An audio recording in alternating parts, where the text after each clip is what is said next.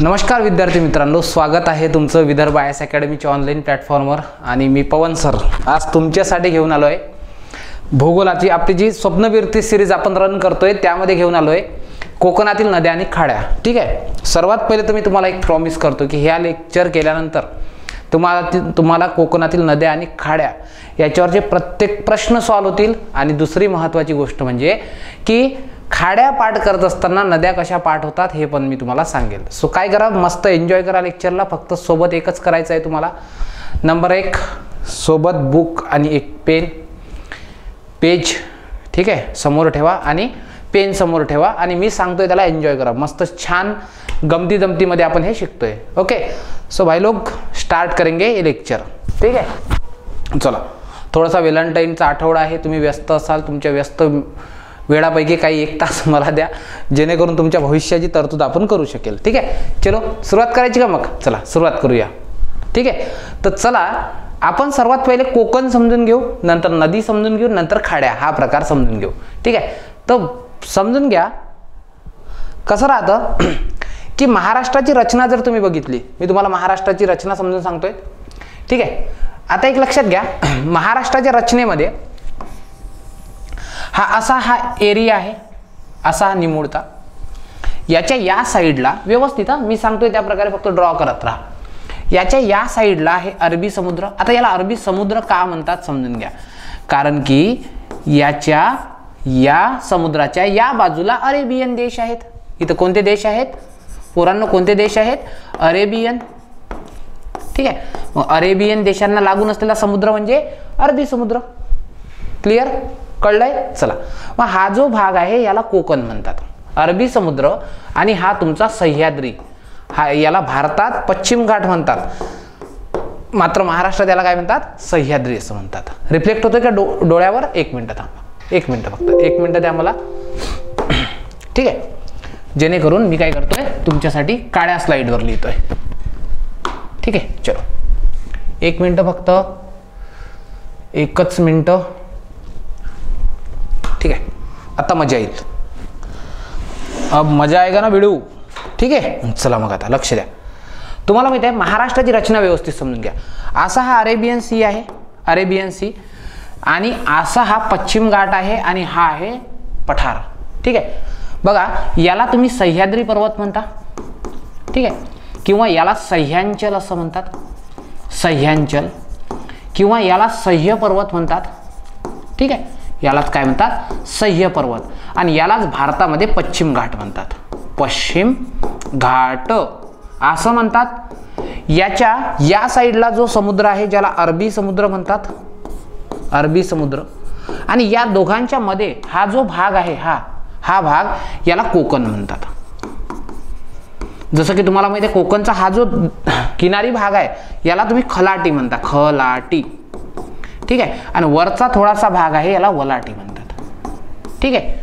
त्याच्यानंतर हा पश्चिम घाट आहे आणि या घाट माथ्याचा वरचा भाग याला काय म्हणतो आपण? घाटमाथा याला काय म्हणतात? घाटमाथा आणि घाटमाथ्याच्या पूर्वेकडचा हा जो पूर्ण एरिया आहे यालाच देश म्हणतात किंवा यालाच महा महाराष्ट्राचं पठार म्हणतात. काय म्हणतात त्याला? महाराष्ट्राचे पठार. कळले असा महाराष्ट्र आहे. ठीक आहे? हा काय झाला? हा झाला बर्ड आय व्ह्यू वरून जर बघितलं तर? ठीक आहे चला. पुढच्या मुद्द्यात एंटर करूया. पुढच्या मुद्द्यात असं एंटर करूया की तुम्ही जर महाराष्ट्राचा मॅप बघितला ठीक आहे महाराष्ट्राचा असा मॅप बघितलाय. या महाराष्ट्राच्या मॅपमध्ये असा हा तुम्हाला कंकणाकृती काय दिसतोय? एरिया झालेला सह्याद्री दिसतोय. हा सह्याद्री आहे. हा सह्याद्री कंकणाकृती कोणाकोणाच्या दरम्यान झाला आहे तर लक्षात ठेवायचा. हा इथे वैतरणा. व्यवस्थित लक्ष द्या. वैतरणा. ते इथे खालच्या साईडनं जे दिसते तुम्हाला सावित्री. या दोन नद्यांदरम्यान आपला सह्याद्री कसा आहे कोणत्या आकाराचा आहे ज्याला आपण म्हणतोय कंकणाकृती कोणत्या कृती म्हणतात? कंकणा. कंकणा म्हणजे काय? टच. चुडिया बोले चुडिया बोले कंगनावालं कंकण. आलं ना? बांगडीच्या आकारात दिसतोय ना? असा.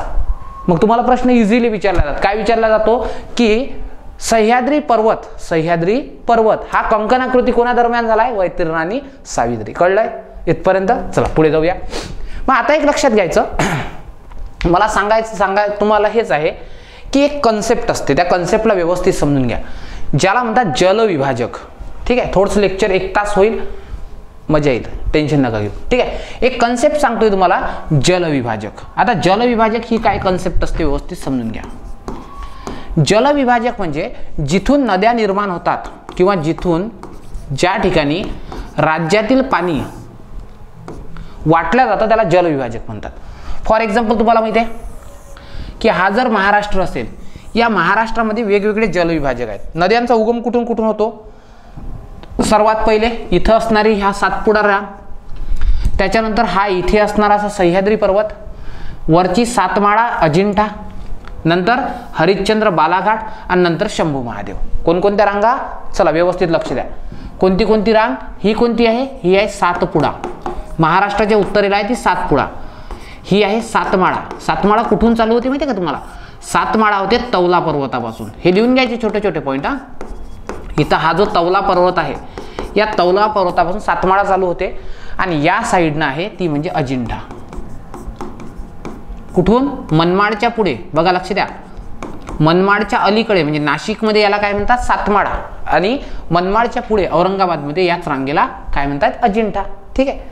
त्यानंतर ही आहे हरिश्चंद्रगडापासून सुरुवात होते. कुठून चालू होते? हरिश्चंद्रगड नगरमध्ये आहे. ठीक आहे? सो याला म्हणतात हरिश्चंद्र. आणि पुढे पाटोदा वगैरे तालुक्यात गेले बीडमध्ये. बीडमध्ये तर याला काय म्हणतात? बालाघाट. काय म्हणतात? बालाघाट. आणि इथं बघा इथं शंभू महादेवाचं टेम्पल आहे. कोणाचं? शंभू महादेव. ठीक आहे कुठे? राय हे शिखर शिंगणापूर. कोणतं ठिकाण आहे? शिखर शिंगणापूर. तिथून त्याला काय म्हणतात? शंभू महादेव. आलं लक्षात? शंभू महादेव. मी काय काय सांगतो व्यवस्थित लक्ष द्या फक्त. नद्या शिकतोय आपण. काही वेगळं नाही शिकत आहे. आता एक लक्षात घ्या. नद्यांना उंचावरून उगम पावत असतात. म्हणजे जिथून प्रवाह चालू होतो त्याला उगम म्हणतात. आता एक लक्षात ठेवा महाराष्ट्रात नद्या उगम कशा पावत असतील? महाराष्ट्राचे उतार कसे आहेत लक्षात ठेवा. पाणी असताना पाणी हे उताराच्या दिशेने वाहतं बरोबर? मग आता आपण बघूया की उतार कोणकोणते आहेत? चला सर्वात पहिले. मला सांगा कोकणातील नद्या ठीक आहे? कोकणातील नद्या या साईडनं वाहत असतील? आणि एक नेहमी लक्षात ठेवायचं नद्या ज्या साईडनं वाहत असतात ना त्या दिशेचं त्याला नाव देत असतात. मग ह्या कुठे वाहत आहेत? कोणत्या दिशेने वाहत आहेत? कोणत्या? चला पटापट बोला बोला. कमेंट बॉक्समध्ये टाका. ह्या कोणत्या साईडनं वाहत आहेत? कोणत्या? चला मी एक मिनटं देतोय. कमेंट बॉक्समध्ये टाका. सर ह्या नद्या पश्चिमकडे वाहतात. म्हणून ह्या कोणत्या नद्या आहेत? पश्चिम वाहिनी नद्या. कोणत्या? पश्चिम वाहिनी नद्या. आलं लक्षात? चला पुढे. आता बघा सह्याद्रीमधून येणाऱ्या काही नद्या अशा वाहत असतील जशी की गोदावरी जी महाराष्ट्रात दोनदा प्रवेश करते. त्यानंतर इथे वाहणारी भीमा इथे वाहणारी कृष्णा ठीक आहे? ह्या कशा आहेत? ह्या नद्या. ही बघा ही गोदा आहे ही भीमा आहे ठीक आहे? ही कृष्णा आहे. हे कोण्या साईडनं वाहत आहेत? कोण्या दिशेनं वाहत आहेत? ह्या पूर्वेकडे वाहत आहेत. मग याला काय म्हणू आपण? बघा नद्या कोणकोणत्या? कोकणातील नद्या सांगा कशा आहेत? चला पटापट चला. माऊली चला पटापट चला. मला सांगा कोकणातील नद्या कशा आहेत? पश्चिम वाहिनी आहेत. ठीक आहे? पठारावरच्या नद्या सांगा बरं मला कशा आहेत? पठारावरील नद्या. ठीक आहे? पठारावरील नद्या ॲक्च्युअलमध्ये सर वायव्येकडून आग्नेयकडे वाहतात. पण उपदिशांचे नावं देत असतात का नद्यांना? नाही. आपण नावं देत असतो. आपण नावं कशात देत असतो? मुख्य दिशांचे. मग ह्या पठारावरील कोणत्या नद्या असतील? कोणत्या नद्या असतील? चला बडाबट बोला. कमेंट बॉक्समध्ये टाका. कोणत्या नद्या असतील? सर त्या आहेत पूर्ववाहिनी. कोणत्या नद्या आहेत? पूर्ववाहिनी. कळलं? आता एक सिंपल सेन्स हा. बघा किती मजेशीर आहे सिंपल एकदम सिंपल मला सांगा गोदावरी वाहते? गोदावरी पूर्वेकडे वाहते? मग समजून घ्यायचं की तुम्ही गोदावरीच्या पाण्यात वाहत वाहत येत आहेत ठीक आहे? मग मला सांगा तुमची डावी ती नदीची डावी? मग वरची बाजू कोणती असेल? डावी. खालची कोणती असेल? उजवी. मग मला सांगा गोदावरीच्या ज्या डाव्या नद्या आहेत त्यांचं उगमस्थान काय असेल? सातमाळा. अजिंठा. आलं का लक्षात? येतंय का? गोदावरीच्या ज्या उजव्या नद्या आहेत उजव्या त्याचं स्थान काय असेल? हरिश्चंद्र बालाघाट. असे पण सेन्स लागतात बरं. असं पण होतं. तसंच भीमेचं डाव्या नद्या हरिश्चंद्र बालाघाटमधून उजव्या शंभू महादेव. सेन्स सांगतोय फक्त सेन्स. तसंच कृष्णेच्या शंभू महादेव. आलं लक्षात कळतंय का? तसंच. आता आपण बघूया उत्तर महाराष्ट्र. उत्तर महाराष्ट्र कशाला म्हणतात? उत्तर महाराष्ट्र म्हणतात सर या ठिकाणी जे खानदेश आहे त्याला. इथून एक नदी वाहत येते अशी. ठीक आहे? ही तापी आणि ही नर्मदा. अशी थोडीशी बॉर्डरवरून कोणकोणत्या नद्या आहेत? एक आहे तापी. ठीक आहे? तापी आणि एक वरची आहे ती म्हणजे नर्मदा. ह्या दोन्ही एम पीमधून येणाऱ्या नद्या आहेत. कोणत्या दिशेने वाहत आहेत रे? कोणत्या? पश्चिम वाहिनी. मग मला सांगा महाराष्ट्रातील पश्चिम वाहिनी नद्या कोणत्या? महाराष्ट्रातील पश्चिम वाहिनी नद्या कोणत्या? चला पटापट पटापट बोला. कोणत्या? नर्मदा तापी आणि कोकणमधील नद्या. आणि लक्षात. सगळ्या पश्चिम वाहिनी आहेत. पठारावरच्या कोणत्या आहेत? पूर्व वाहिनी. आणि एक विदर्भ. ठीक आहे आमचा वेगळा स्वॅग आम्ही नाही. पूर्वेकडे ना आम्ही पश्चिमेकडे. आम्ही वाहतोय दक्षिणेकडे. आमचा स्वॅगच वेगळा आहे. हे तर जाऊ द्या. अमरावती अकोल्यामधल्या नद्या. सुरुवातीला इधर चला मग उधर चला कोई मिल गया? जादू. ठीक आहे? आशा वाहतात दक्षिणेकडे. आशा वाहतात डबल रिटर्न आणि मग जाऊन मिळतात तापीला. अमरावतीमधल्या नद्या अशा जाऊन मिळतात. म्हणजे लक्षात आलं का? तुम्हाला महाराष्ट्रामध्ये नद्यांचा पॅटर्न हा वेगवेगळा दिसतोय. वेगवेगळा दिसतोय? कळलं? चला. मग आता व्यवस्थित लक्ष द्या. ठीक आहे? मी थोडंसं बाजूला होतो लिहून घ्या. ठीक आहे? यस आता बघा महाराष्ट्रातील नदी प्रणाली कशी आहे? जाणून घ्यायचं ना? जाणून घेऊ चला. महाराष्ट्रातील लिहा माझ्यासोबत तुम्ही पण. चला पटापट लिहा. लिहिताय का? कितीला रिप्लाय करताय? महाराष्ट्रातील नदी प्रणाली. चला. मला सांगा नद्यांचे पॅटर्न किती? सर आम्ही सांगतो तुम्ही नका सांगू. ठीक आहे? बरं तुम्ही सांगा. नंबर एक. सर्वात पहिले कोकणमधील नदींचा पॅटर्न सांगा. ठीक आहे कमेंट बॉक्समध्ये सांगा. नंबर दोन पठारावरचा मॅ पॅटर्न सांगा कोणत्या वाहिनी आहेत ते? नंबर तीन उत्तर महाराष्ट्रामधला पॅटर्न सांगा. ठीक आहे आणि नंबर चार चला नंबर चार तो मला सांगा विदर्भामधला पॅटर्न कोणी सांगू शकता का?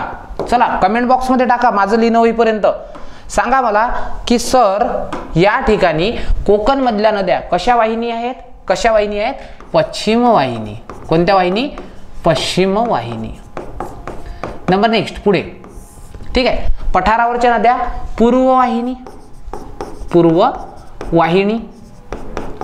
त्यानंतर मला सांगा उत्तर महाराष्ट्रातल्या कोणत्या? त्या सर पश्चिम वाहिनी. दोनच आहे नर्मदा तापी पश्चिम वाहिनी. ठीक आहे? आणि लास्ट वन विदर्भातल्या काय? दक्षिण वाहिनी. उत्तरेकडून येतात आणि त्या कशा? दक्षिणेला असतात आणि पुढे जाऊन गोदावरीला जाऊन मिळतात. आलं का लक्षात? असे पॅटर्न तुम्हाला दिसत आहेत झाले चला. इथपर्यंत क्लिअर झालं का? आपला एक पहिला मुद्दा क्लिअर झाला की कोकणमधील नद्या कशा आहेत? पश्चिम वाहिनी आहेत. ओके? चला. आता आपला मुद्दा काय शिकायचा? कोकण. मग आपण कोकणवर फोकस करूया. इकडे नंतर कधीतरी लेक्चर घेईल. चला मग. हे लिहून झालं असेल. बाजूला होतोय. लिहून द्या एकदा. यस ठीक आहे? चला. आता मी सांगतो तुम्हाला कोकणमधले नद्यांचं वैशिष्ट्य. ठीक आहे? आपण काय बोलतोय?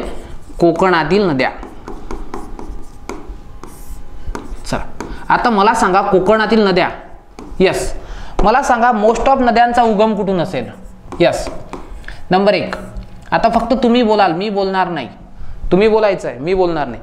मला सांगा मोस्ट ऑफ नद्यांचा उगम कुठून असेल? सर सर्व बहुतांशी नद्यांचा उगम कुठून होतोय? सह्याद्री रांगेतून होतोय. बरोबर? चलो. मला सांगा कोकण जो आहे कोकण हा सर्वात लांब कुठे आहे? कोकण सर्वाधिक रुंद. तुम्हाला माहिती आहे का? कोकण आणि किनाऱ्यामध्ये अंतर किती आहे? हे बघा. हा महाराष्ट्राचा मॅप मी जर तुम्हाला विचारलं कोकण आणि किनाऱ्यामध्ये किती अंतर आहे? म्हणजे हा सह्याद्री आणि या ठिकाणी पश्चिम घाटात अंतर किती आहे? तर सरासरी फक्त पन्नास साठ किलोमीटर. किती? पन्नास साठ. मग मला सांगा जर दोन दरम्यान पन्नास साठच अंतर असेल तर कोकणमधील नद्या कशा असतील? नंबर एक मुद्दा सर. कोकणमधील नद्या कशा आहेत? ठीक आहे. कोकणातील नद्या कशा आहेत? यस यस सर शॉर्ट आहेत शॉर्ट का बरं हो, सर शॉर्ट का आहेत? तर बाबा कोकणमधील सर्वात लांब नदी माहिती आहे कोणती आहे? कोकणमधील सर्वात लांब नदी बऱ्याच मुलांना उल्हास वाटते नाही? सर्वात जी लांब नदी आहे ती आहे वैतरणा? कोणती आहे? वैतरणा. आणि किती किलोमीटर आहे? एकशे चौपन्न किलोमीटर. संदर्भ ए बी सौदी सरांचं बुक एकशे चौपन्न किलोमीटर. मला सांगा कोकणमधील सर्वात लांबच नदी कितीची आहे? एकशे चौपन्न किलोमीटर. तेवढा मोठा तुमच्या गावातला नाला असतो नाही का? मग लक्षात ठेवा. आणखी एक सांगू माहिती आहे का? हे बघा ही जी वैतरणा आहे हा सह्याद्री पर्वत इथे एक ठिकाण आहे त्र्यंबकेश्वर. ठीक आहे. या त्र्यंबकेश्वरवर जवळ एक पर्वत आहे ज्याला म्हणतात ब्रह्मगिरी पर्वत. या ब्रह्मगिरी पर्वताचं वैशिष्ट्य असं आहे की हा दोन महाराष्ट्रातील मोठमोठ्या नद्यांना जन्म देतोय. कोकणातील सर्वात लांब वैतरणा एकशे चौपन्न आणि महाराष्ट्रातील सर्वात लांब गोदावरी. दोघींचा युगम कुठून आहे? त्र्यंबकेश्वरवरून सहाशे अडुसष्ट किलोमीटर. कळलंय? जायचं पुढच्या मुद्द्यावर? चला पुढच्या मुद्द्यावर जाऊ. दुसरं कोकणमधील नद्या. आता मला सांगा कोकणचा उतार एकदम एक्स्ट्रीम नाही का? बघा बरं. मी तुम्हाला सुरुवातीलाच दाखवलं होतं. बघा कोकणचा उतार कसा आहे? ठीक आहे. कोकणचा उतार कसा आहे? एकदम उतार हा तीव्र उतार आहे. उतार कसा आहे हा? हा उतार तीव्र उतार आहे. मग मला सांगा जर उतार तीव्र असेल यस यस जर उतार तीव्र असेल ठीक आहे. मग मला सांगा जर उतार तीव्र असतील तर नद्या पण कशा वाहिनी असतील? कशा वाहिनी असतील? चला बोला पटापट. सर नद्या ना ह्या तीव्र वाहिनी आहेत. तीव्र वाहिनी. ठीक आहे. मला सांगा जर नद्या तीव्र पाणी वाहिनी असतील तर नदी चक्र पूर्ण करतात का? डेव्हिसनं जी सायकल सांगितली आहे नदी चक्र पूर्ण करतात का? ठीक आहे पूर्ण करीत नाही. सर हे काय नवीन शब्द सांगितला तुम्ही? नदीचक्र ही काय कन्सेप्ट सांगितली? तर तुम्हाला डेव्हिजची सायकल एकदा समजून सांगतो. ठीक आहे? सायकल सायकल डेव्हिजची सायकल ठीक आहे? बघा उगमावरून नदी उगम इथे काय झालंय? इथून नदी उगम पावली. नदी काय असते? पहिल्या टप्प्यात असते. हिला म्हणतात नदीची तरुणावस्था. कुठून? त्या उगमस्थानावरून तर सपाट भागात येईपर्यंत. डोंगरावर असते ती तरुणावस्था. आणि इथं ती कोणतं कार्य करत असते? खनन कार्य. नंतर जशी ती सपाट भागात येते तिची दुसरी अवस्था चालू होते ज्याला म्हणतात तिची प्रौढावस्था. कोणती? प्रौढावस्था. आणि जसं तुम्ही प्रौढ झाल्यावर तुमच्यावर काय तर कुटुंबाचा भार येतो. तसं तिच्यावरही कुटुंबाचं वहन करणं येतं. म्हणजे या ठिकाणी जे खणलेले दगड वाळू वगैरे आहे ती वाहत नेण्याचं काम हे करतं. आणि शेवटची अवस्था प्रत्येक माणसाची पण ही अवस्था असते ज्याला म्हणतात वृद्धावस्था. आणि वृद्धावस्थेत तो काय करतोय? प्राण त्यागून देतो. ठीक आहे? आणि आपलं जे साठवलं ते सगळं संचयित करून देतो. नातवांसाठी आणि मुलांसाठी सोडून देतो. नदीच्या किती अवस्था असतात मग? तरुणावस्था सपाट भागात प्रौढावस्था आणि समुद्र किनाऱ्यावर वृद्धावस्था. पहिल्या अवस्थेत खनन कार्य मग वहन कार्य मग संचयन कार्य. मला सांगा हे करायसाठी किती लांबीचा प्रवास पाहिजे? खूप पाहिजे ना? मग मला सांगा कोकणमध्ये हे शक्य आहे का? नाही. हे पठारावरच्या नद्या करतात. पण कोकणमधल्या नद्या करतात का? कोकणमधील नद्या करतात का? नाही. म्हणून आपण काय म्हटलंय की नदी चक्र पूर्ण करत नाही. कळलंय? चला. मला सांगा तिथल्या नद्या कशा असतील? हंगामी सर. महाराष्ट्रातल्या नद्या कशा आहेत? हंगामीच आहे बहुधा. मला सांगा या नद्यांमध्ये बारीक वाळू असेल का? वाळू कधी तयार होत असते वाळू? वाळू कधी तयार होत असते? तुम्ही कधी थंड हवेच्या ठिकाणी किंवा उंच ठिकाणी गेले का? उंच ठिकाणी तुम्हाला नद्यांमध्ये मोठमोठे दगड दिसतील. का दगड दिसतात? का दिसतात दगड? तर विषय असा असतो की सर नदी जेवढा लांब प्रवास करेल त्या मोठमोठ्या दगडांचे तुकडे होतात आणि तुकड्यांची वाळू बनत असते. लक्षात ठेवायचं म्हणून इथं तुम्हाला मोठमोठे दगड आणि मोठमोठे गोटे जे आहेत हे नदीत दिसतात. वाळूंचं प्रमाण दिसत नाही. कोकणमधल्या कंडिशन अशा आहेत कोकणमध्ये विहीर जर खणली तर त्या ठिकाणी खारं पाणी लागतं. आलं का लक्षात? कळलं? आता एक सर्वात महत्त्वाचं वैशिष्ट्य कोकणचं कोकणचं सर्वात महत्त्वाचं वैशिष्ट्य म्हणजे कोकण हा काय करतो? खाड्यांची निर्मिती करतो. कशा निर्मिती करतो? खाड्यांची निर्मिती करतोय. हाच तर आपला बोलायचा मुद्दा आहे ना आजचा. सर मग हे काय असतं? खाडी म्हणजे काय असतं? एकदा आम्हाला समजून सांगा. यस याच्यावर बोलायचं आहे मला तुमच्याशी. खूप सविस्तर व्यवस्थित लक्ष द्या आता. ठीक आहे. हे मी रब करू का? नाही जाऊ द्या. मी हे सर्व फाईल तुम्हाला हे करा बरं. टेलिग्रामवर तुमच्याशी शेअर करेल. फाईल डाउनलोड करून घ्याल. बघा कसं आहे. मी तुम्हाला एक मुद्दा सांगतो व्यवस्थित समजून घ्या. हा आहे समजा पर्वत. हा समजू आपण सह्याद्री. ठीक आहे. या सह्याद्रीवरून काय होऊन राहिलं? या सह्याद्रीवरून काय होत आहे? या ठिकाणी सह्याद्रीवरून अशी ठीक आहे. सह्याद्रीवरून हे असं वैतरणा वाहत येते. आली वैतरणा वाहत? आली का? ही अशी वैतरणा. वैतरणीचा उगम कुठून झाला? त्र्यंबकेश्वरून अशी ही आली वैतरणा वाहत. ठीक आहे? आता तुम्हाला मी त्या नदी काय करत असते? असं नदीचं मूग तयार होत असते. बघा व्यवस्थित समजून घ्या फक्त मी काय सांगतोय. डायग्रामद्वारे. हे काय आहे? मॅप असा मॅथ्सद्वारेच हा विषय शिकवाय शिकायचा असतो. बघा हा काय आहे नदीचं? ही कोणती नदी आहे? वैतरणा. कोकणमधील सर्वात लांब. हे हिचं काय आहे? उगम स्थान. हा हिचा प्रवाह मार्ग आणि एक लक्षात ठेवायचं नदीचं मुख जे असतं ना हे समुद्राजवळ असतं. नदीचं मुख कुठं असतं? समुद्राजवळ. मग लक्षात घ्या हा कसा आहे? हा आहे समुद्र. ठीक आहे हा काय आहे? अरबी समुद्र. अरे लक्षात? आता बघा काय होईल? नदीमध्ये ना पाणी वाहत येतं. मी पाणी वाहत आणतो नदीमध्ये. ठीक आहे चला. नदीमध्ये पाणी वाहत आणतोय. मग नदीमध्ये असं हे स्वच्छ पाणी जल वाहत येत आहे व्यवस्थित लक्ष द्या फक्त असं हे स्वच्छ जल नदीमध्ये असं वाहत आलं. आलं वाहत? कळले ठीक आहे असं. मला सांगा नदीमध्ये जे जल वाहत येतं नदीमध्ये जे जल वाहत येतं हे कसं असतं? खारं असतं? गोड असतं?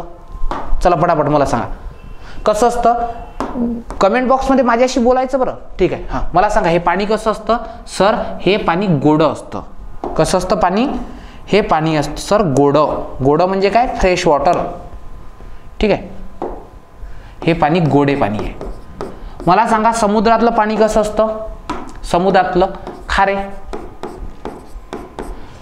आता मला एक सांगा हे नदीचं मुख आहे समुद्राजवळचा भाग आहे भरती ओटी नावाचा प्रकार असतो की नाही? असतो ना. मग काय होतं? भरती अशी इथपर्यंत येते. भरती अशी इथपर्यंत येतं. ही आली भरती. ही काय? आहे समुद्र आलेली भरती. सरकार तर काढत नाही. मग समुद्रात नेहमी नेहमी काढतो. समुद्रासारखं काम पाय पाहिजे होतं? दर चौदा दिवसानं एक भरती. ठीक आहे? यस आता बघा मग काय होत असतं? या भरतीचं जे पाणी आहे मी हे निळ्या कलरचं दाखवतोय. ब्ल्यू वॉटर दाखवतोय ब्ल्यू वॉटर ठीक आहे? बघा लक्ष द्या. हे भरतीचं जे पाणी आहे हे नदीत कुठंतरी एंटर करत असेल ना? कुठपर्यंत तरी एंटर करत असेल? मग इथपर्यंत आपण समजू एंटर केलं. आत्ता मला सांगा जर तुमच्याकडे नाईन्टी आहे ठीक आहे? जी तुम्ही खूप वेळची आणलीत. ठीक आहे? तुमच्या घरच्यामुळे ती बाहेर काढता आली नाही. तुम्ही वाट बघून राहिले घरचे कधी जातात कधी जातात कधी जातात. शेवटी ते घराच्या बाहेर गेले. ठीक आहे? मग आता तुम्ही नाईन्टी काढली तोपर्यंत नाईन्टी काय झाली होती? गरम झाली होती. मग नाईन्टीमध्ये तुम्ही काय टाकता? थंड पाणी. मग ते कसं होईल? गरम आणि थंड. मग आता कोमट होईल. तसंच हे गोडं पाणी ठीक आहे? आणि हे जे असेल हे गोडे पाणी आणि हे खारे पाणी. हे गोडे आणि हे खारे पाणी. सांगा बरं कसं पाणी बनणार आहे इथलं? मुखातलं पाणी कसं बनणार आहे? हे बनणार आहे. सर निम खारं पाणी. हे काय? निम खारे पाणी. कळलं का? यस कळतंय? यस ती नाही का? ती काय म्हणते त्याला आय एम सो हॉट तो म्हणते आय एम सो कूल मग या दोघांना लेकरं कसे होणार आहेत? कोमट. ती हॉट असेल हा कूल असेल तर लेकरं कोमट होणं आहे ना? शक्यता आहेत ना? नाकारता येतात का? नाही. आम्ही भूगोलामध्ये शिकलोय. सायन्समध्ये शिकलोय ठीक आहे? आता बघा आता आपल्या खाडीची व्याख्या तुम्हाला सांगतोय. खाडीची व्याख्या. खाडी काय म्हणते? की बघा भरतीचे पाणी. भरती म्हणजे कोणती? महाभरती का? पंच्याहत्तर हजार नाही. भरतीचे पाणी नदीच्या मुखात नदीचं मुख समजलं? नदीचे मुख समजलं का? नदीच्या मुखात. जिथपर्यंत शिरते जिथपर्यंत शिरते. त्या भागाला काय म्हणतात? त्या भागास खाडी म्हणतात. समजलं मग? खाडी कशाला म्हणतात? चला पटापट सांगा मला. खाडी कशाला म्हणतात? सर हे भरतीचं पाणी नदीच्या मुखात जिथपर्यंत शिरून राहिलं त्याला काय म्हणतात? त्याला त्याला म्हणतात खाडी. मग मला सांगा खाडीतलं पाणी कसं असतं? निम खारं असतं. सर याच्याशी आमचा काय संबंध तर बिलकुल आहे लक्षात ठेवायचं. निमखारी पाणी जे असतं ह्या पाण्यात मासे प्रजनन करत असतात. कारण की माश्यांना प्रजनन करायला काय लागतं? निम खारं पाणी लागतं. म्हणून महाराष्ट्रामध्ये काय आहे? म्हणून महाराष्ट्रामध्ये तुम्हाला मत्स्य व्यवसाय हा कसा दिसतोय? प्रगत दिसतोय. आता दोन तीन करंट अफेअर तर सांगावेच लागतील. करंटचा आफ्टर करंटचा शिक्षक आहे ना? चलो बघा लक्ष द्या आता. नंबर एक आपण ना सिल्वर पॉपलेट ठीक आहे? सिल्वर पॉपलेट याला काय दिलं? राज्य मासा दर्जा दिला. अलीकडे. हे लिहून घ्या. नंबर दोन अलीकडे आपण काय केलं? राम नाईक समिती आहे. ठीक आहे? ही रामनाईक समिती कशासाठी स्थापन केली?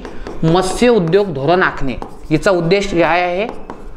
मत्स्य मत्स्य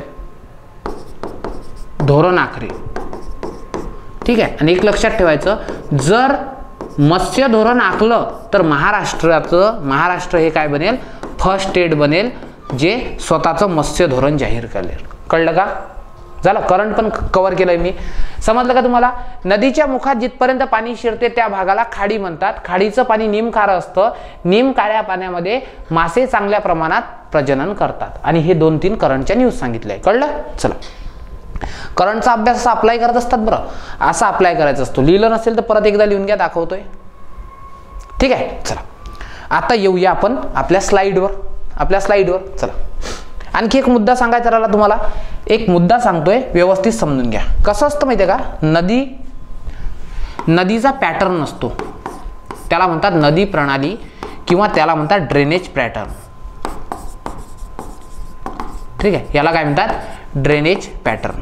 नदी आकार कसा धारण करते त्याला ड्रेनेज पॅटर्न म्हणतात. व्यवस्थित समजून घ्या. बघा कोकणमधील ज्या नद्या आहेत ह्या एकमेकाला अशा समांतर वाहतात. म्हणून कोकणमधली नदी प्रणाली कशी आहे?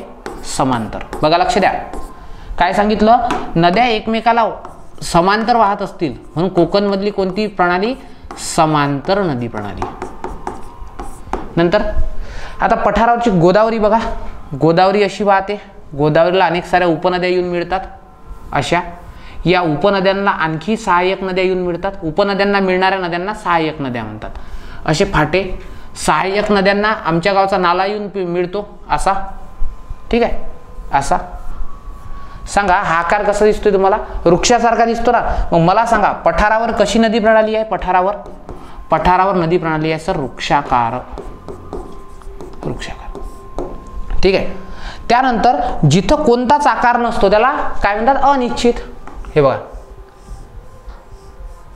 ठीक आहे? सो तुम्हाला असं दिसेल खूप सारे धरणं खूप सारे काय आहेत? त्या ठिकाणी धरण आहेत किंवा खूप सारे तलाव आहेत. म्हणून तुम्हाला पूर्व विदर्भात ठीक आहे? पूर्व विदर्भ जो आहे या पूर्व विदर्भात कोणती नदी प्रणाली दिसते? अनिश्चित.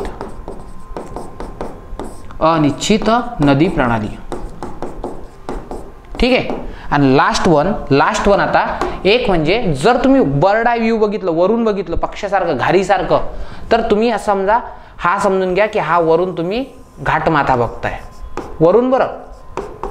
वर वरता व्ह्यू बर्ड आय व्ह्यू तर इथं बघा घाटमाथ्याहून इथून अशी एक नदी वाहते महाबळेश्वरला. एक दुसरी वाहते एक तिसरी वाहते एक चौथी वाहते एक पाचवी. ह्या कशा आहेत? ह्या केंद्रापासून दूर जात आहेत. म्हणून याला कोणती नदी म्हणतात? केंद्रोत्यागी. केंद्रोत्यागी. केंद्राला त्यागणारी नदी प्रणाली. आलं लक्षात? मग घाटमाथ्यावर कोणती आहे? केंद्रोत्यागी. आलं लक्षात? चलो. कळतंय का? चला मूळ मुद्द्यावर येऊ आपण. ठीक आहे? एकदम बेसिक्स क्लिअर झाले. आता आपल्या मूळ मुद्द्यावर आपण येतोय. ठीक आहे चलो अब करेंगे स्टार्ट ठीक आहे करायचं स्टार्ट येस स्टार्ट आपण करतोय. एक मिनटं फक्त. ठीक आहे जा बाबांनो तुम्ही हा गेलंय गेलंय. ठीक आहे चला कोकण बघूया. सर्वात पहिले हा जो भाग आहे हा सात जिल्ह्यांचा जो प्रदेश आहे बघा इथून. पालघर ठाणे उपनगर शहर रायगड रत्नागिरी आणि सिंधुदुर्ग. ठीक आहे हा जो आहे हा कोकण आहे. कोकणमध्ये जिल्हे आहेत सात. कोकणमध्ये तालुके आहेत पते पन्नास. सत्तेचाळीस प्लस तीन म्हणायचं. का बरं? कारण की तीन तालुके फक्त नावापुरते आहेत. तालुके असे नाहीत. उपनगरमध्ये आहे कोणते आहेत? ए बी सी अंधेरी बोली Borivali Kurla. A B C Andheri Borivali Kurla. A B C झालं पाठ. त्याच्यानंतर कोकणचं मुख्यालय जे आहे ते मुंबई आहे म्हणून याला मुंबई प्रशासकीय विभाग म्हणतोय. कोकणचं क्षेत्रफळ आहे तीस सातशे अठ्ठावीस किलोमीटर स्क्वेअर. ठीक आहे? असा हा तुम्हाला भाग दिसतोय. ठीक आहे? आणि इथं समांतर नदी प्रणाली तुम्हाला दिसते. कळलं? जायचं पुढे? यस पुढे जाऊया. यस हां. ठीक आहे? नदी प्रणाली मी तुम्हाला सांगितली कशा प्रकारची आहे? समांतर आहे. बघा आता कोकण किनारपट्टीचा प्रदेश जो आहे तो सखल आहे. उंच सखल आहे ना? बरोबर? आणि एक लक्षात ठेवायचं की कोकण किनारपट्टी कुठे आहे? एका साईडनं सह्याद्री एका साईडनं अरबी समुद्र या दरम्यान आहे. कोकणची रुंदी ही उत्तरेकडून दक्षिणेकडे कमी होते. अगदी बरोबर आहे ना? हे बघा. उत्तरेला कोकण असा ब्रॉड दिसतोय दक्षिणेला कमी दिसतोय. कोकण सर्वाधिक ब्रॉड कुठे आहे? उल्हास नदीच्या खोऱ्यात. बघा लक्ष द्या. उल्हास नदी खोरे जे आहे इथं कोको कोकण सर्वाधिक ब्रॉड आहे. किती किलोमीटर? शंभर किलोमीटर. आणि सर्वात कमी कुठं आहे? कुडाळजवळ. सिंधुदुर्ग कुडाळ. कुडाळ कुठे आहे? सिंधुदुर्गमध्ये. ठीक आहे? किती किलोमीटर आहे? फक्त तीस किलोमीटर. म्हणजे तिथं फक्त तुम्हाला तीस किलोमीटर अंतरावर समुद्र दिसतोय. चला. म्हणजे कोकण उत्तरेकडे कसं आहे? ब्रॉड आणि दक्षिणेकडे कमी आहे. बरोबर? कोकण उत्तरेस शंभर किलोमीटर. उल्हास नदीच्या खोऱ्यात तीस चाळीस किलोमीटर कुडवळजवळ सरासरी जर म्हटलं कोकण दोघांचाही मध्य काढावा लागत असतो ना सरासरी म्हणजे? सरासरी आहे पन्नास ते साठ किलोमीटर. हेच तुमचं उत्तर असेल. लक्षात? कळलं? त्यानंतर कोकणचं क्षेत्रफळ तीस सातशे अठ्ठावीस आहे. तीस सातशे अठ्ठावीस. आणि कोकणमधील सर्व नद्या ह्या सह्याद्रीमध्ये उगम पावतात कुठे येतात? अरबी समुद्राला जाऊन मिळतात. म्हणून कोकणमधल्या नद्या कशा आहेत? कोकणमधील नद्या ह्या तुम्हाला पश्चिम वाहिनी दिसतात. आणखी पश्चिम वाहिनी कुठे बघितलं होतं आपण? उत्तर उत्तर महाराष्ट्रामध्ये. ठीक आहे? बघा चालू घडामोडी संपूर्ण महाराष्ट्राचा भूगोल Maharashtra Bharat pre main special आणि पंचायत राज हे तीन माझे जे आहेत कोर्स हे ॲप स्टोअरला अवेलेबल आहे. ठीक आहे? ही पी डी एफ तुमच्या मोबाईलमध्ये असेल. इथे सिम्पली तुम्ही क्लिक करून कोर्सवर जाऊ शकता. ठीक आहे? थँक्यू सो मच चलो. आता कोकणमधील नद्यांची वैशिष्ट्ये मला सांगा. काय आहे? अरबी पर्वतात उगम पाहून समुद्राला मिळतात. नंबर दोन लांबीने कमी आहे शॉर्ट आहेत. वेगानं वाहतात उथळ आहेत ना. फार तीव्र भागावून वाहतात ना. मग कशा असतील? अत्यंत वेगानं. उंचावरून येत असल्याने वेग खूप असतो. आणि एक लक्षात ठेवायचं ह्या कमी खनन कार्य करतात. ठीक आहे? ह्या ज्या आहेत ना ह्या कमी खनन कार्य करतात. आणि सर्वात महत्त्वाचं म्हणजे उल्हास आणि वैतरणा जर सोडल्या तर दोन नद्या शंभर किलोमीटरपेक्षाही खाली आहेत. म्हणजे बघा कोकणमध्ये खूप पन्नासक नद्या आहेत. वैतरणा आणि उल्हास या दोनच अशा आहेत की ज्यांची शंभर किलोमीटरपेक्षा जास्त लांबी आहे. बाकीच्या पन्नास बावन्न किलोमीटर. तुम्हाला काय सांगितलंय? ठीक आहे. आणि बघा या नद्यांचे ऊर्ध्व खनन हे पार्श्व खननापेक्षा जास्त आहे. ऊर्ध्व म्हणजे काय? असं खालच्या साईडनं. नदी वाहते ना तशी खाली जास्त खणत जाते. असं मोठं नाही करत पात्राला. पात्राला असं मोठं करत नाही तर असं खोल खणत आणते. ठीक आहे? चलो. आता बघा कोकण डिवाइड कसा झाला आहे तुम्हाला माहिती आहे कोकणचा विस्तार कुठून चालू होतो? दमनगंगा ते तेरेखोल. बरोबर ना? असा हा जर कोकण असेल हा. हा कुठून चालू होतो? दमनगंगा नदीपासून. आणि कुठे संपतो? तेरेखोलवर. मग मला सांगा कोकणचे नद्यांवर आपण विश वेगवेगळे भाग केले असतील ना? तर सर्वात पहिले समजूया गंगा गंगा. बघा गंगा दमन गंगा ते पाताळ गंगा. गंगा गंगा उत्तर कोकण. गंगा कुठली नदी आहे? उत्तरेकडची. मग कसं लक्षात ठेवायचं? उत्तर कोकण कोणाला म्हणतात? उत्तर कोकण म्हणजे गंगा स्क्वेअर. गंगा स्क्वेअर. उत्तरेकडची गंगा. दमन गंगा ते पाताळ गंगा. झालंय? बघा. दमन गंगा ते इथं असणारी पाताळ गंगा. या या दरम्यान या दरम्यान काय आहे? या दरम्यान आहे उत्तर कोकण. चालेल? आता मध्य कोकण कुठून चालू होईल? पाताळ गंगा ते सावित्री. पाताळ गंगा ते सावित्री. हा काय झाला? मध्य कोकण. आणि सावित्री ते तेरेखोल हा काय झाला? दक्षिण कोकण. झालं पाठ. झालं का पाठ? चलो. काय करायचं? गंगा सावित्री तेरेखोल. काय? गंगा. चार नद्याही लक्षात ठेवल्यात चालते तुम्ही. हे बघा. सर्वात पहिले दमन गंगा. नंतर पाताळगंगा नंतर सावित्री आणि नंतर तेरेखोल. ठीक आहे? मग कसं लक्षात ठेवायचं? दी दीपा दीपा सात. झालं? दीपा सात. कसं काय? दीपा सात असताना कुठे गेले? कोकणमध्ये फिरायला. सर्वात पहिले दमनगंगा पाताळगंगा झालं? हा काय झाला? उत्तर कोकण. पाताळगंगा ते सावित्री मध्य कोकण. सावित्री ते तेरेखोल सावित्री ते तेरेखोल दक्षिण कोकण. झालाय का पाठ? दीपा सात. दीपाला सात घेऊन कोकणमध्ये अलिबाग. ठीक आहे? चलो. नंबर नेक्स्ट आत्ता बघा कोकणमधील नद्या. पालघर जिल्ह्यात कोणकोणत्या आहेत? हे पाठ नका करू. त्याची जबाबदारी माझी. ठीक आहे? यस पालघरमध्ये दमनगंगा सूर्या पिंजाळ वैतरणा तानसा. ठाण्यामध्ये भातसा काळू मुरबाडी उल्हास. काळा भात मुरला ग्लासात. काळा भात मुरला ग्लासात. बघा बरं किती सोपी होतं. बघा काळा भात. काळा भात मुरला ग्लासात. म्हणजे काय? काळू भातसा मुरबाड आणि उल्हास. आलं लक्षात? कळलं का? यस ठीक आहे? नंतर बघा दहीसर ओशिवरा भोईसर मिठी. ठीक आहे? कळलं ना? दहीसर ओशिवरा भोईसर मिठी.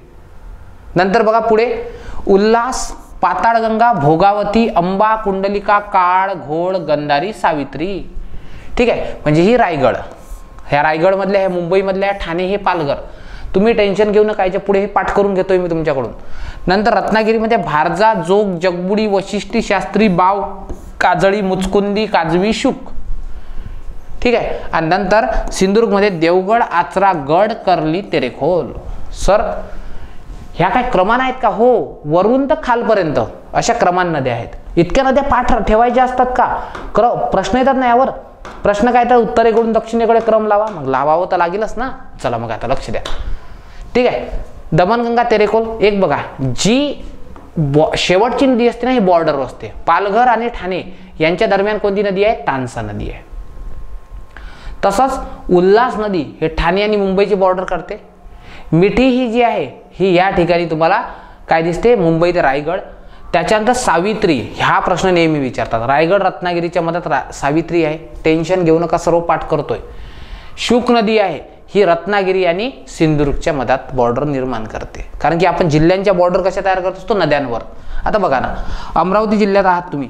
अमरावतीवरून जर तुम्ही वर्ध्याला जायचं असेल ना तुम्हाला तर मधात वर्धा नदी आहे. आलं लक्षात? सो जिल्ह्यावरच आपण बॉर्डर तयार केल्यात. ठीक आहे? चला पुढे. आता हे पाठ करायचं आहे हे कसं पाठ करायचं सर इतकं? तर आता पाठ करूया आपण इथे. कळलं? चला. आता बघा मी तुम्हाला छान छान कोड देतो. आता व्यवस्थित लिहून घ्या. आर यू रेडी रेडी चला मग. लक्ष द्या. सर्वात पहिले आपण करतोय उत्तरेकडून दक्षिणेकडे खाड्यापाठ करतोय. नंबर एक डहाणू दातीवरे वसई. ठीक आहे? सो याचा कोड या तिघांचा कोड काय करायचा? डसई. डसई. डहाणू दातीवरे वसई. डहाणू दातीवरे वसई. डसई. ठीक आहे? कळलं? डसई डहाणू दातीवरे वसई. नेहमी म्हणायचं माझ्या बघा बघा ठाण्याची कुठं असेल ठाण्यातच असेल. वरचा जिल्हा कोणता आहे? मला सांगा.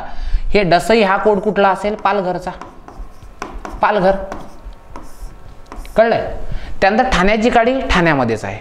नंतर यम यम यम मनोरी मालाड माहीम.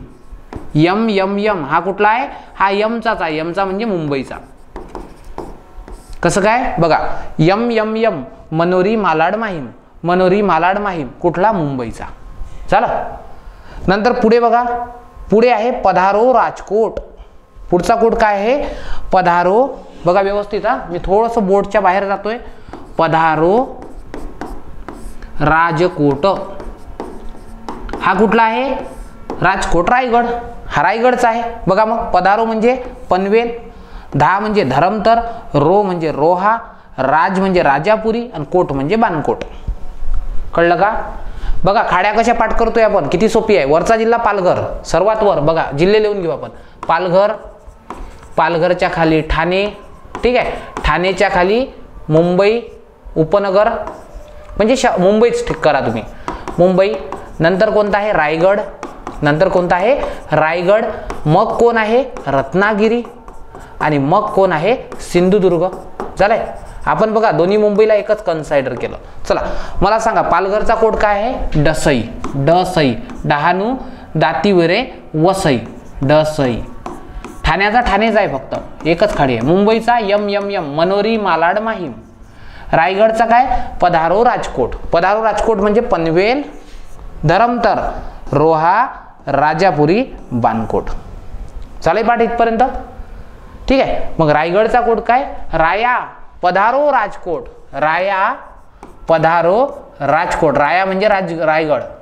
पधारो राजकोट. सर्वात मोठा जिल्हा कोणता आहे? रत्नागिरी. मग सर्वाधिक कुठे असतील? तिथंच असतील. ठीक आहे? पहिले खाड्या पाठ करू मग नद्या पाठ करू. मजा बघा कशी येते. ठीक ठीक आहे? इथपर्यंत पाठ झालं का? हो असेल तर हो नाही तर नाही. चला कमेंट बॉक्समध्ये ड्रॉप करा. लवकर लवकर. कळलं? ड स ई मनोरी मालाड माहीम यम यम यम पदारो राजकोट पनवेल धरमतर रोहा राजापूर बाणकोट. ठीक आहे? चलो यस आता पुढे आता एक व्यक्ती आहे बेटा माझा मित्र. माझा मित्र आहे. त्याचं नाव काय? केदार. नाव काय आहे? केदार. वडिलांचं नाव आहे जय. ठीक आहे? आणि भाटिया. हा निवडणुकीला उभा राहिला होता. कोण? केदार जय भाटिया हा निवडणुकीला उभं राहिला होता आणि हा काय आहे? पूर्ण जेताही विजेता आहे. म्हणजे पूर्ण जेता तोच विजेता. पूर्ण जेता ही विजेता. म्हणजे याच्या विरोधात कोण फॉर्मही टाकला नाही असा दबंग कार्य करताय कोण? केदार जय भाटिया. रत्नाचा कोण आहे? मिस्टर आहे तो. याच्या बायकोचं नाव रत्ना आहे. ठीक आहे? सो रत्नाचा पती केदार जय भाटिया पूर्ण जेता ही विजेता. ठीक आहे? भारतात जी सिस्टीम आहे निवडणूक सिस्टीम सर्वांपेक्षा एक मत जास्त त्याला म्हणतात जेताही विजेता सिस्टम ती आहे ती. बघा आता के म्हणजे केळशी दा म्हणजे दाभोळ जय म्हणजे जयगड भाटिया म्हणजे भाट्टे पूर्ण म्हणजे पूर्णगड जेता म्हणजे जैतापूर विजेता म्हणजे विजयदुर्ग. झाल्या का रत्नागिरीमधल्या पाठ? झाल्या का पाठ? पटापट सांगा मला रत्नागिरीमधल्या नद्या पाठ झाल्या का? यस ऑर नो पूर्ण जेता ही विजेता.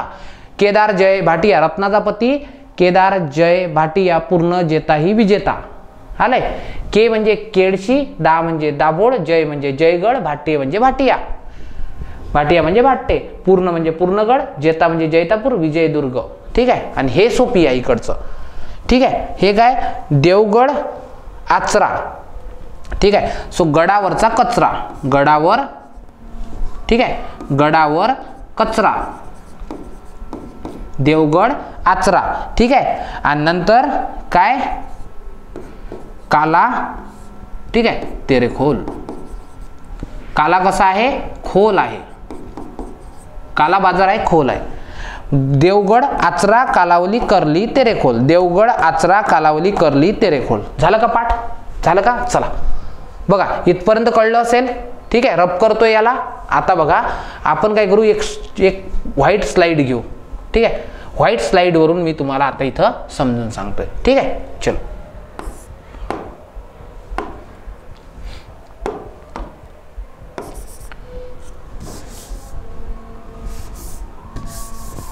नाहीच होत का? बरं. नको होत. नको येस डिस्क्राईब ठीक आहे? येस आता पुढे. चला पाठ होतं का बघू? एक एक इनिशियल लिहू हा. चला मी काय करतोय? मी तुम्हाला देतोय दोन मिनटं. पोरांनो तुम्हाला मी दोन मिनटं देतोय. दोन मिनिटाच्या ती दोन मिनिटाच्या आत तुम्ही काय करायचं आहे? तुमच्या सर्व खाड्या उत्तरेकडून दक्षिणेकडे लिहायची आहेत. युअर टाईम स्टार्ट नऊ चला लिहा पटापट. मी लिहितोय. माझ्यासोबत लिहा. डसई डहाणू. माझ्यासोबत लिहा. डहाणू दातीवरे वसई. डहाणू दातीवरे वसई. चला पटापट पटापट. चला मी लिहितोय. टाइम अप टाइम अप ठीक आहे नंतर मनोरी मालाड यम यम यम. मनोरी मालाड माहीम. एक ठाण्याची सोडली मी. ठाणे सोडलंय. ठीक आहे नंतर पदारो राजकोट. पनवेल पनवेल धरमतर. चला पटापट लिहा. लिहा. चलो चलो चलो चलो. धरमतर पनवेल धरमतर. पधारो रोहा राजापुरी. बानकोट बानकोट. चला एक सतरा फक्त.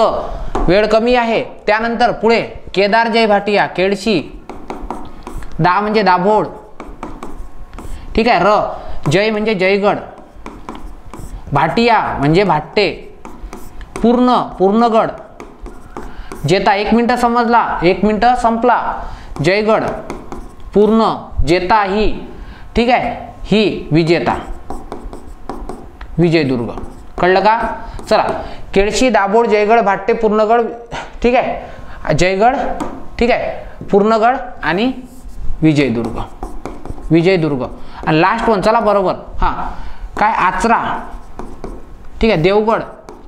देवगड आचरा कालावली कालावली करली. चला टाईम अप टाईम अप माझं झालंय.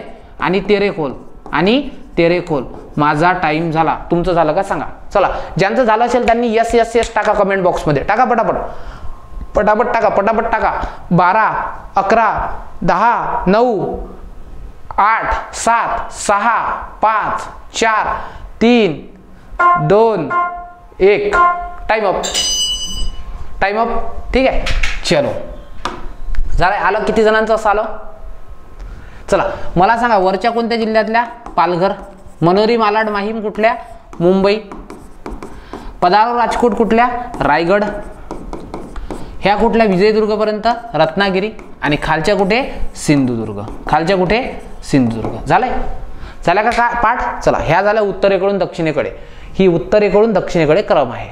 आता आपल्याला काय करायचं आहे? नेक्स्ट टास्क नेक्स्ट टास्क करायचा आहे तो म्हणजे या ठिकाणी नद्या पाठ. नाही ना? कोणत्या कोणत्या नदीवर कोणती खाडी आहे विचारते ना? मग चला सर्वात पहिले. डहाणूची जी खाडी आहे तिथं नदी वाहत नाही. ठीक आहे? डहाणूची जी खाडी आहे तिथं नदी वाहत नाही लक्षात ठेवा. बघा वैतरणा आणि तानसा. बघा तुम्हाला ना दैनंदिन जीवनात खूप ताण येतो वैताग येतो अभ्यास करता करता खूप ताण वैताग इतका अभ्यास काय काय पाठ करावं? सर सांगतात वेगळं कोण सांगतं वेगळं? सागर सर वेगळे सांगतात पवन सर वेगळे सांगतात इतर फॅकल्टी वेगळं सांगतात. करावं तर काय कर? मग तुम्ही काय करता माहिती का? वैताग आणि ताण आला की तुम्ही काय करता? दात खाता. असं नाही करायचं नाही करायचं. सो बघा दातीवरे वैताग आला वैतरणा आणि ताण आला तर. कळलंय? कळलंय का? मग बघा वैताग. वैताग आला तर दात खातात. वैतरणा आणि तानसा. दोन नद्यावरही एक असू शकतं बरं. दोन नद्या जर अशा मिळत असतील तर. ठीक आहे. वसई. वसई उल्हास. ठीक आहे? हां. कसं सई तामनकर बघितली का? कसं मस्त उल्हास वाटतो मनाला. ये ब्युटी. आपली तर फेवरेट आहे. सई तांबनकर ठीक आहे? चलो. नंतर ठाणे. ठाणे उल्हास. एकच आहे फक्त. ठीक आहे? ठीक आहे? ठाणे उल्हास. त्यानंतर मनोरमामा ये बात हमारा मनोरमामा क्या बेचता है? दही दही वाला मनोरमामा ठीक आहे मला काय पाहिजे? मित्र मित्र बसले मस्त पार्टीला. बोल भाई तुला कोणता ब्रँड पाहिजे? तो बोलते मला ओशी पाहिजे. ओशी ऑफिसर चॉईस यास मला ओशी पाहिजे. ओशी वरा. कळतंय का? बघा डहाणू नदी वाहत नाही दातीवर कुठं वैताग आणि ताण आला तर. वसई सई तामनकरला पाहून उल्हास येतो. ठाणे उल्हास. मनोर मामा दहीवाला. मनोरी दही सर. मला काय पाहिजे? ओशी पाहिजे. माही दिसली रे दिसली. चौदा. चौदा तारखेला. फेब्रुवारीला. माही दिसली की तिला काय करायचं? मिठी मारायची. यस माहीला मिठी. यस. पनवेल वेल वेल. कुठे आहेत बेटा? वेल कुठं असतात? जिथं जास्त पाणी असतं. आणि भारतात सर्वाधिक पाणी कोणत्या नदीला आहे? गंगेला. मग लक्षात ठेवायचं पनवेल गंग ग गंगा. कळलंय? त्यानंतर धरमतर. तुम्हाला माहिती आहे ना अंबा अंबा उत्सव नवरात्सव हा काय आहे? धर्माचा भाग आहे. अंबिका उत्सव ठीक आहे? हा काय? धर्माचा भाग आहे हिंदू धर्माचा भाग आहे. हा जो रोही आहे रोही रोही बघितला ना तुम्ही? तो शेतात खूप धुमाकूळ घालतो बैलासारखा असतो तो रोही. रोह्याने काय केली? कुंडी फोडली. आला बागेत एक दिवस आणि लात मारली आणि कुंडी फोडली. ठीक आहे? कळलंय? बघा राजाचा काय आला होता? राजाचा काळ आला होता. म्हणून ना राजा गेला. राजाचा काय आला होता? काळ आला होता. ठीक आहे? आणि त्याच्यानंतर सावित्री काय करते? अधिकारी झाली. सावित्री घालते कोट. सावित्री काय घालते? कोट. अधिकारी झाली ना? यशोदामध्ये ट्रेनिंग घेते. हा लक्षात. चला मग. सांगा मला डहाणू नदी आहे का? नाही. सर दातीवरे दात काय करतो आपण? वैताग आला आणि ताण आला तर दात खातोय. ठीक आहे? सईला बघून उल्हास. मनोर मामा दहीवाला. मला ओशी पाहिजे. माईला मिठी मारायची पनवेल वेर कुठं आहे? गंगा नदीच्या काठी. ठीक आहे? त्यानंतर अंबा हा आपल्या धर्माचा भाग आहे. रोहा. रोहा. बघा कधी कधी ना धरमतरचं उत्तर पाताळगंगा पण देतात बरं. आयोगाने एक वेळा ते पण उत्तर दिलं. हे पण मेन्शन करा. रोह्याने काय केली? कुंडी फोडली. राजाचा काळ आला होता राजा गेला. औरंगजेबाचा काळ होता औरंगजेब राजा होता गेला. त्यानंतर बाणकोट सावित्री काय घालते? कोट घालते. झालं का नद्या? कोणत्या नदीवर कोणती खाडी आहे? हे पाठ झालं का? चलो पुढे. नंतर केळी. जळगावची केळी कशी आहे बेटा? सर मी जर विचारलं भारी केळी कुठं मिळते? सर जळगावची केळी भारी आहे. केळी कशी आहे? केळी भारी आहे एकदम भारजा वशिष्ठी दाभोळकर हे बघा. दाभोळकरांच्या म्हणजे आपले नरेंद्र दाभोळकर नाही बरं आमच्या शेजारचे दाभोळकर. ठीक आहे नरेंद्र दाभोळकर सर नाही. दाभोळकरांच्या पत्नीचं नाव काय? वशिष्ठी दाभोळकर. ठीक आहे? जय शास्त्री. जय शास्त्री. जय काय झाला पुढे जाऊन? शास्त्री झाला. जय शास्त्री. एका मूवीमध्ये शाहरुख खानचं नाव आहे ते. ठीक आहे? नंतर भाट. तुम्हाला माहिती आहे तुमच्या घरी? तुमची वंशावळ कोणाकडे लिहिलेली असते? प्रॉपर भाटाकडे. भाटांकडे असतं. ते येतात त्यांचं त्यांनाच अक्षर माहीत असतं. आणि ते जाऊ द्या. माझी एंट्री अजूनही भाटा भाटांकडे नाही. म्हणजे ते अजूनही मी ऑफिशियली आहे भारतात नागरिकत्व मिळालं सर्व गोष्टी मिळाल्या पण भाटांचं सर्टिफिकेशन मला मिळालं नाही. आणि भाट कधी येतात म्हणजे तुमच्या घरी एंट्री करायला? जेव्हा तुमच्या घरी काजळवालं येतं. क्या क्या करत येतं ना तेव्हा येतं. ठीक आहे? मग काय? तुमच्या घरी काजळवालं बेनं जन्माला आलं की मग काय भाट येतात एंट्री करायला? बता उसका नाम. ठीक आहे? नंतर मुचकुंदी. येस मुचकुंदी. आपली कुंदा जी आहे कुंदा. ठीक आहे? कुंदा पूर्ण गेलेली केस आहे. या चाराने बाद. कळलं का? आहे का कुणाचं नाव? तापू नका. कोड आहे फक्त तो. कुंदा कशी आहे? पूर्ण गेलेली केस आहे. कळलंय? झालंय? नंतर पूर्ण. नंतर बघा जै काजवा माहिती आहे ना काजवा. ज्याच्या बुडाला आग लागलेली असते तो काजवा. मग बघा समजा जैतापूरचा आपला अणुऊर्जा प्रकल्प झाला तर महाराष्ट्र पण काय असेल? काजव्यासारखा चमकलेला असेल. म्हणजे जैतापूर हा आशियातला सर्वात मोठा अणुऊर्जा प्रकल्प आहे. आशियातला सर्वात मोठा अणुऊर्जा प्रकल्प कोणता आहे? जैतापूर. सो लक्षात ठेवायचं जैतापूरचा प्रकल्प झाला तर महाराष्ट्र काजव्यासारखा काय होईल? चमकेल. नंतर विजय शुकांचा काय झाला तो माहिती आहे? शुक होते शक शक. शकांचा काय झाला? विजय झाला. शकांचा विजय. आणि सिंधुदुर्गाला जास्त डोक्याला ताप देत नाही. देवगड देवगड. आचरा आचरा. कळलंय? करली करली. तेरेखोल तेरेखोल. ज्या नावानं नदी त्याच नावानं खाडी. फक्त एक. कालावली हे गड नदीवर आहे. तुम्हाला माहिती असेल ना मू मिथूनचे मूवी बघितले तुम्ही? मिथुनचे? चक्रवर्तीचे? ते झुकझुक झुकझुकवाले. असतं ना. असं बोटाने काय करायचं? छिद्र मारायचं भिंतीला. ठीक आहे? असं ते चंडेल वेंडेल काय आहे ते मूवी तर त्याच्या माहिती का? तिथे किडनॅप करायचे आणि प्रत्येकजण हिरोला आणि विलनला फाय पा खेळायचं असेल लास्ट फायटिंग कुठे? काली पहाडी. मग काला गड काली पहाडी गड नदी. आलं का लक्षात? कळतंय का? चला. मग आता मला सांगा आता परत एक टास्क देतोय तुम्हाला. आर यू रेडी रेडी आहात का पहिले कमेंट बॉक्समध्ये टाका. आर यू रेडी चला पटापट पटापट. जास्त वेळ नाही जात. ठीक आहे?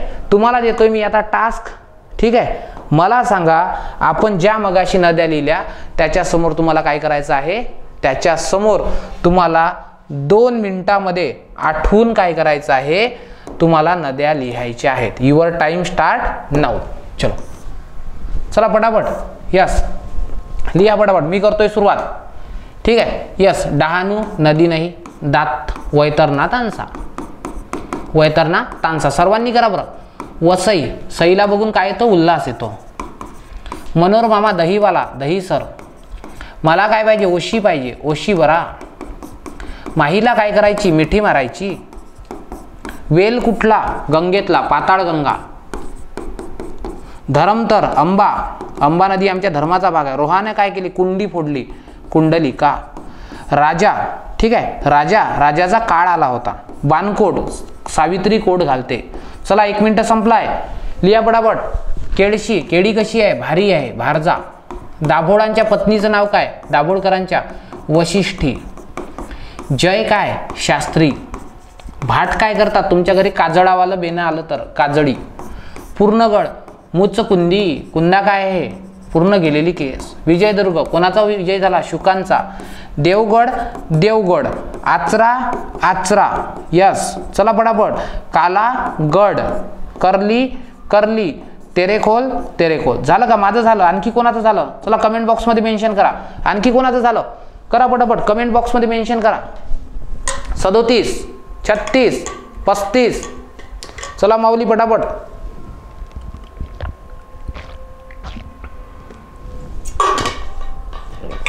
झालं का पाठ? झालं का? चला तेवीस बावीस एकवीस वीस एकोणावीस अठरा सतरा चला चला चला चला चला. चलो चलो चलो चलो पटापट पटापट पटापट. चला चला. दहा नऊ आठ सात सहा पाच चार तीन दोन एक. टाइम अप काही लोकांचा साबून स्लो आहे त्याच्यामुळे ते स्लो झालेत. चला आता मला सांगा मला तुम्ही सांगा तुमच्या नद्या पाठ झाल्या की नाही? कोकणमधल्या नद्या. हाच नद्यांचा क्रम आहे. वैतरणा उल्हास दहिसर ओशिवरा मिठी पाताळगंगा अंबा कुंडलिका काळ सावित्री. बारजा वशिष्ठी शास्त्री काजळी मुचकुंदी काजवी शुक देवगड आचरा गड कर्ली तेरेकोल झालं सर. आमच्या खाड्या पण पाठ झाल्या आणि आमच्या पूर्णच्या पूर्ण नद्या पण उत्तरेकडून दक्षिणेकडे पाठ झाल्या. हेच प्रश्न येतात तुम्हाला?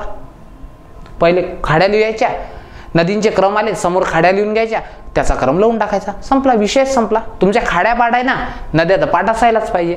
अजून काय विचारेल? ज्या बॉर्डरवर आहेत आता विचारलं की शुक जी नदी आहे ही कोणाची सीमा निर्धारित करते? तर रत्नागिरी सिंधुदुर्ग. तसंच बानकोट सावित्री नदी कोणाची करते? रायगड रत्नागिरी. त्याच्यानंतर तुम्हाला विचारलं पाताळगंगा मुंबई शहर उपनगर मुंबई शहर आणि रायगड अशा प्रकारे विचारतात. कळलं का? बघा बरं हाच तर कोड आहे. पूर्ण नद्या न- नसू असू द्या ना. दमनगंगा माहिती सर्वात वरची आहे. वैतरणा बघितली तानसा बघितली. नंतर का उल्हास बघितली दहीवरा बघितली दहीसर ओशीवरा मिठी बघितली. हाच क्रम आहे पुरांनो. हातचा हाच क्रम आहे. कळलंय? किती सोपी आहे बघा बरं. असा अभ्यास काय करावा लागत असतो? तुम्हाला हे. ठीक आहे? हे बघा.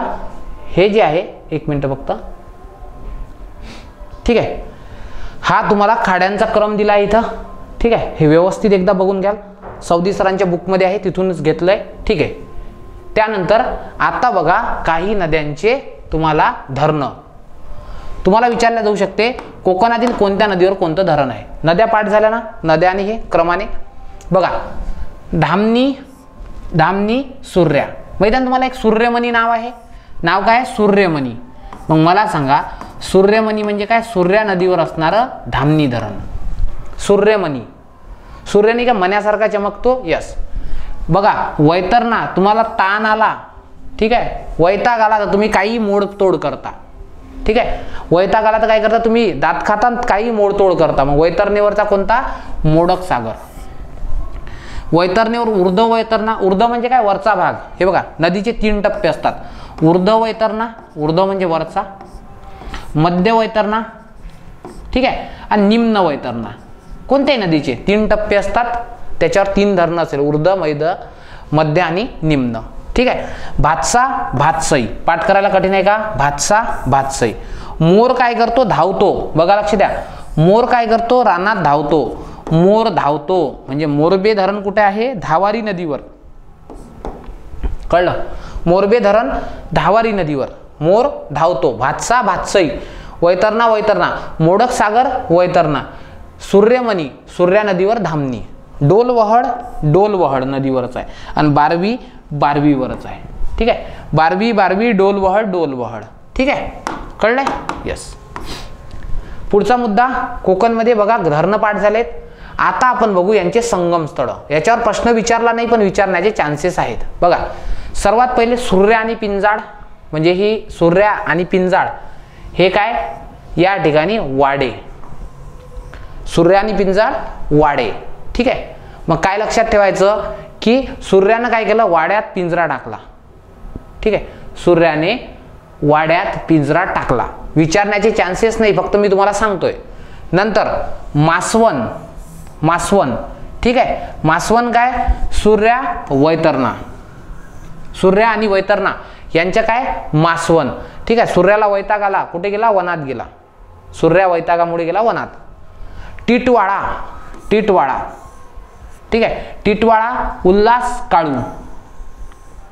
ठीक आहे? काळावाडा काळावाडा काळावाडा ठीक आहे? नंतर महाड. हे विचारतं. हे सर्वात आय एम पी आहे. महा महाड गांधार आणि सावित्री. ठीक आहे? गांधार आणि सावित्री या दोन नदींच्या नदींचा संगम कुठं आहे? त्या ठिकाणी महाडला आहे. हे विचारतात. ठीक आहे? संगमेश्वर शास्त्री आणि सोनवी. शास्त्री आणि सोनवी संगमेश्वर. मी तुम्हाला यामध्ये एकच रिफर करेल. तुम्ही फक्त महाडला गांधार आणि सावित्रीचा संगम लक्षात ठेवा. बाकी खालसावाडी हे वगैरे नाही केले तरी चालते. फक्त एकच इम्पॉर्टंट होतं. म्हणून हा चार्ट मी तुम्हाला दाखवला आहे कळलं का? कळतंय? ठीक आहे. आता बघा भूगोलामध्ये खूप सारं पाठांतराचं मटेरियल असतं. ते असं पाठ करायचं असतं. आणि जर भूगोलाबद्दल तुम्हाला काही असेल शंका तर काय करायचं? हा माझा कोर्स आहे जो बाराशे नव्याण्णवमध्ये तुम्हाला अवेलेबल आहे. याच्यामध्ये भारत महाराष्ट्र आणि पर्यावरण हे तिन्ही विषय कंप्लीट केले आहेत. सो तुम्ही या लिंकवर जाऊन हा लेख जाऊन हे करू शकता. जॉईन किंवा ॲपवर जाऊन सुद्धा करू शकता. ठीक आहे? तसेच पंचायत राज आणि संपूर्ण चालू घडामोडीचा कोर्स पण माझा तिथे आहे. ठीक आहे? सो बघा आता लक्ष द्या आपण काय काय बघितलंय? आपण सुरुवातीपासून जे बघितलंय ठीक आहे? ते बघितलं कोकणचा विस्तार. नंबर नेक्स्ट कोकण काय आहे? नदी प्रणाली काय आहे? नद्या कोणत्या आहेत? त्याच्यानंतर खाड्या पाठ केल्या आहेत. कोणत्या नदीवर कोणती खाडी आहे? नद्या पण क्रमाने पाठ झाल्या आहेत तुमच्या. आय होप तुम्हाला सर्व लेक्चर चांगलं समजलं असेल. लेक्चर कसं वाटलं हे निश्चित कळवा. स्वप्नपूर्तीच्या पुढच्या सेशनमध्ये आणखी मी भूगोलाचं एक लेक्चर घेऊन येऊ पाठांतराचं. ठीक आहे? तशा कमेंट तुम्ही इथे ड्रॉप करा. Thank you so much keep studying Jai Hind best of luck